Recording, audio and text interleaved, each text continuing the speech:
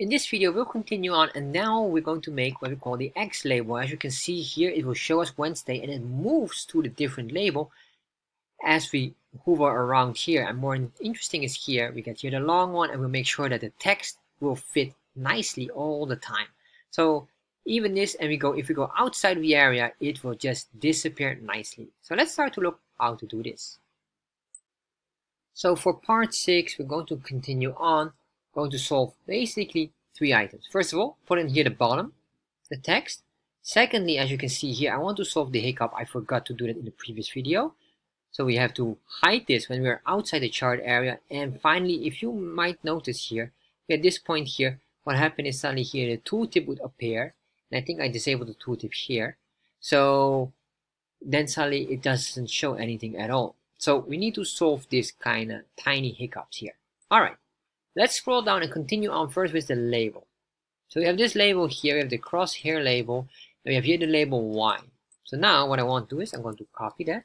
I'll say here, label X, and let's start working on this. So the label X and label Y are very identical. So we're going to have again a begin path, and we can just, I don't know if we can copy all of that, but let's do like this, put in there. Then what I want to do here is the fill style and I realized that they are very identical so uh, maybe later on we have to do refactoring on these. But anyway doesn't matter. Next here is the fill rectangle. I'm going to just type this out so it's easier to follow along. Rectangle and then what I'm going to do here now is because we need to have different coordinates compared to here. Here we had other coordinates but here it will be slightly different. So what I'm going to say here first of all I need the x coordinate here which is our starting point and then what I want to do here is comma. Then we want to start at the bottom. Remember, we, our text must be now here at the bottom. So we say here, the bottom. And what I mean by bottom here, chart area bottom is this part here, this line here. So once we have that, then I'm going to say here, comma. And here we need to calculate the width of the text. So this one requires some tricks as well. So for now, I'll just make this 20 pixels. And then we're going to say here the height will be as well 20 pixels. We know it will be 20 pixels in height because we will have a, a font size of 12. So that's already given. So let's start to look then what we need. So what I'm going to do here is ctx.font equals, we can just copy this. I guess we can just copy all of these items here or maybe even uh, put that outside. I'm going to cut that, put it here, so we don't have to redo redo this here. And I guess this this one here can be as well. Oh, I'm afraid that's not possible. Sorry. So the reason why this is not possible is because we have a fill style here and a fill style here, and they will overlap on each other. What we can do is this. These are not being overlapped because we don't use another command here. Just can cut that and just put that one there so we can do like that. And this later on needs to be done here again. So all of this we will just reuse that in here. So we say no problem for that. So we don't have to define the font family etc etc but what we do need to define is the color. Because else it will override it with this color here or that one here in this case. So I'm going to put that in there and I'm going to just copy this close path here. Let's close close the path here.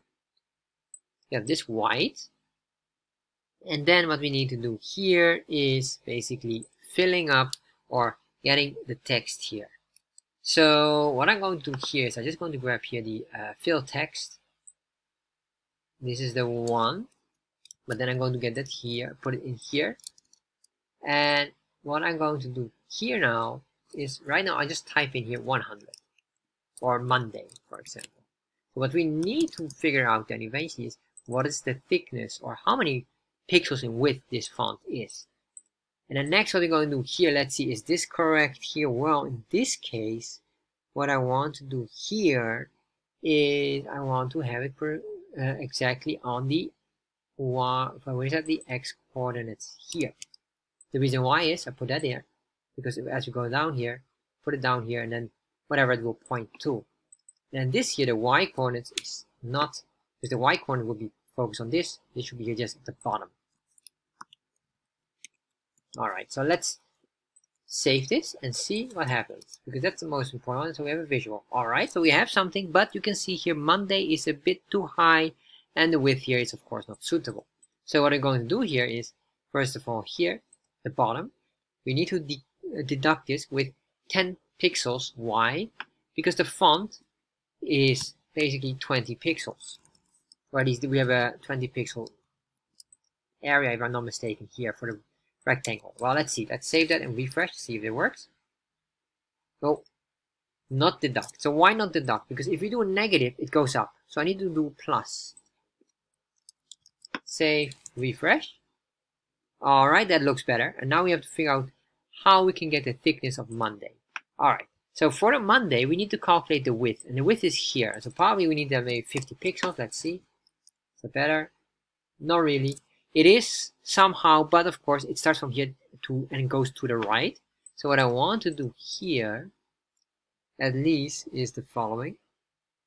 I need to calculate probably, uh, or in this one here, I need to have, or sorry, in this one here, this is the rectangle here. I need to know how much the width. So if I do here minus 25 pixels, say,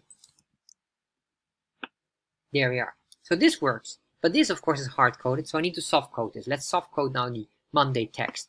And I put it in Monday, but it could be any text here. It must be right now dynamic text of month, as we have here down, or Tuesday, whatever we have.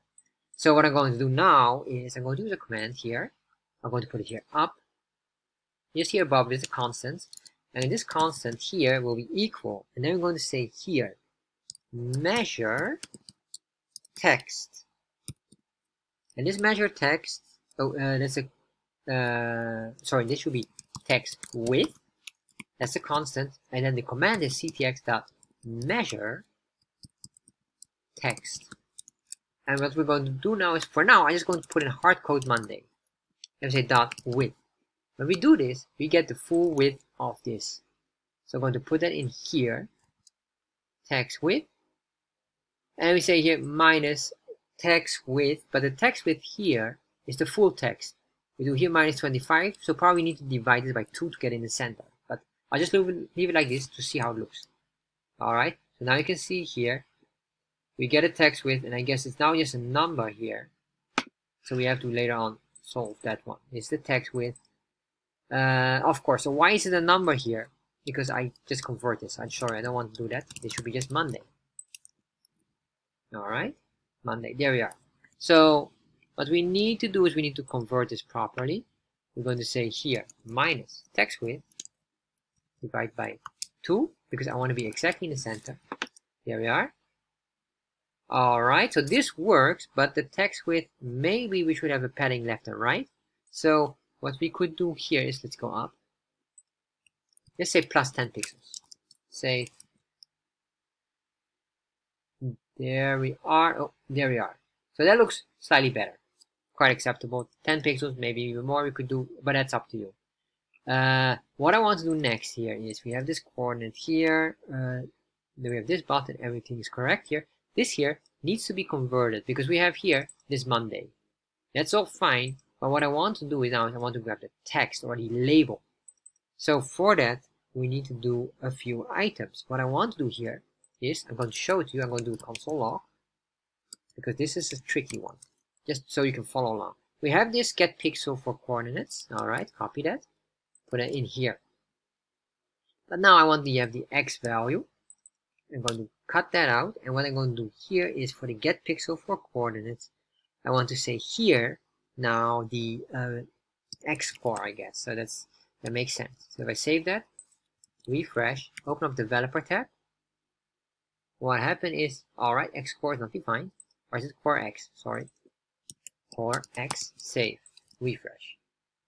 There we are. So it gets the 5 and 4, and what really gets, it gets here between. So it will understand this, and let me just uh, put that one, I guess that one we could just put in here. Save, refresh, there we are.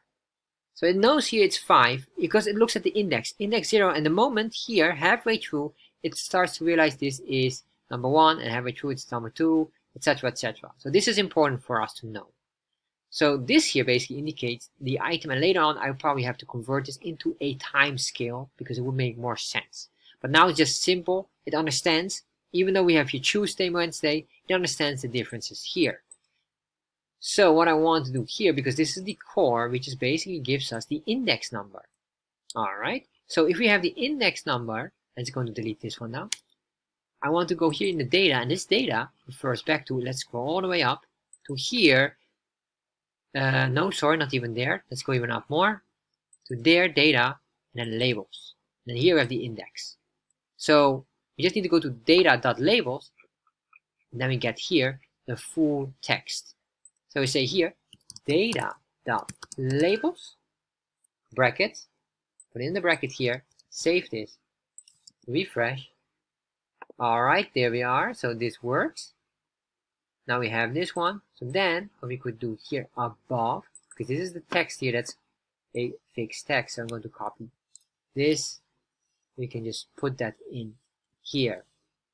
Save, refresh.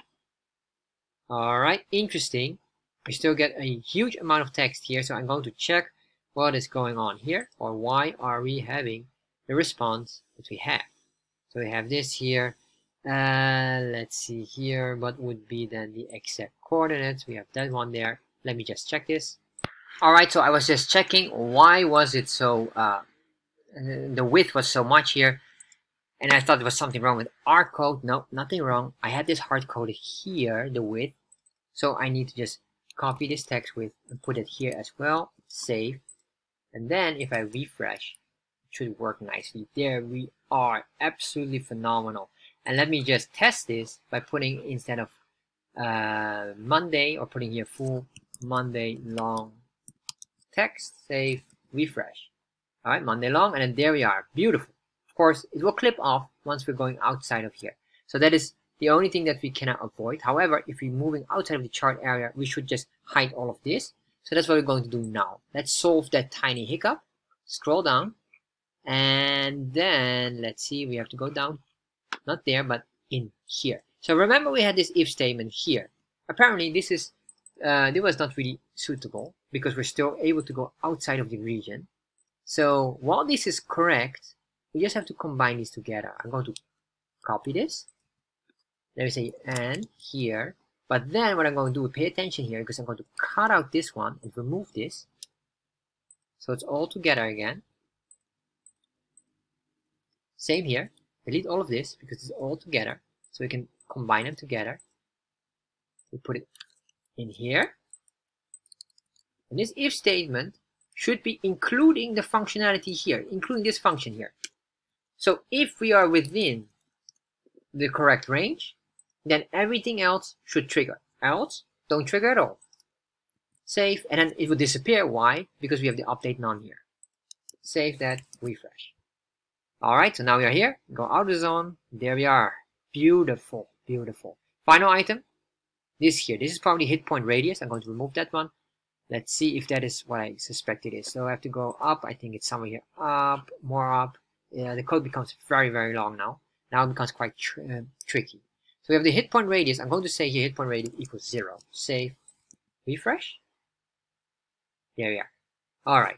So now we remove that, and later on we have to probably create our own custom tooltip that will be shown all the time.